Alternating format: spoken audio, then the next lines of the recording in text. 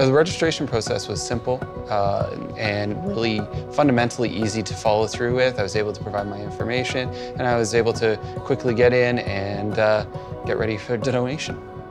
Uh, the new concierge is phenomenal. It's uh, seamless, it's so easy to process. I just do the buttons, hit the card, and you're off to the races. I really wanted to donate because I, I, thought I would feel fulfilled being able to help somebody today. But on a personal level, uh, when my son was born, he spent a lot of time in the hospital. Uh, I felt like we utilized a lot there, and it would be nice to be able to give back. The lady at the front desk basically told me to come over here, uh, answer some of the screening questions, and then I'd be heading over to the screening booth afterwards. The opening process was just a bunch of questions, you know, just kind of gathering some of my basic health uh, information, and uh, it was pretty simple. Uh, this is where we screen the donors and check their eligibility to donate. Go through all their questions that they've answered either at home or here at the clinic. Gauge their height and weight on how much volume we're going to be taking for plasma.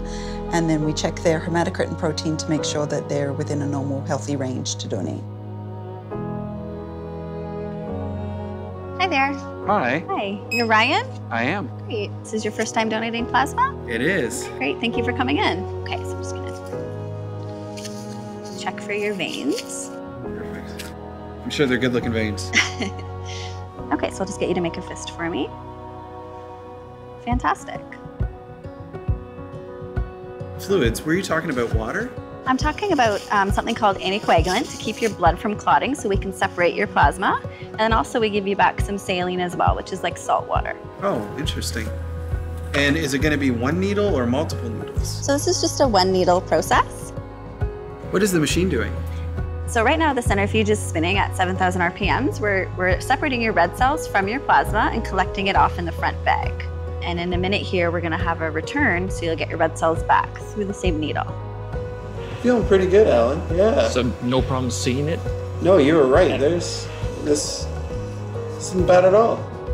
Okay, so you're actually in your last return, which means you're almost done the procedure. So you're actually getting some saline back right now, mixed in with your red cells, and that keeps you hydrated after your donation. Oh, that's fantastic.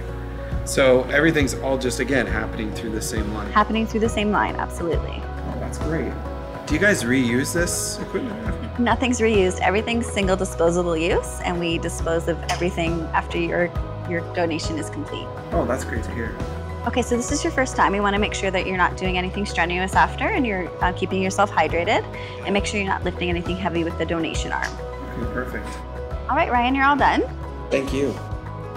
I felt really uh, apprehensive at the beginning, um, but as Victoria came and sat down and explained the process to me and helped talk through each of the steps, I felt much uh, better as we progressed all the way through the whole process. I think the, the cool factor was that at the exact moment when all of a sudden I was getting the, uh, the saline and, and blood combination coming back in was definitely a highlight. It definitely felt really neat.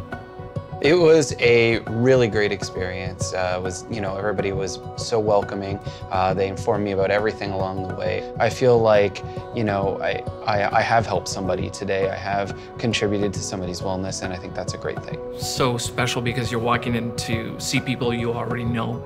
Um, they're very welcoming. Um, you know the process, so your level of uh, ease and, and, excitement at the same time is, is is great. Coming with Alan uh, really kind of helped calm me down. Um, seeing somebody who's been this through this so many times, uh, it really helped me get through this. I think I'm not nervous now uh, because I was able to see everything step by step. There was instructions, it was fantastic, and everybody was so uh, warm and welcoming.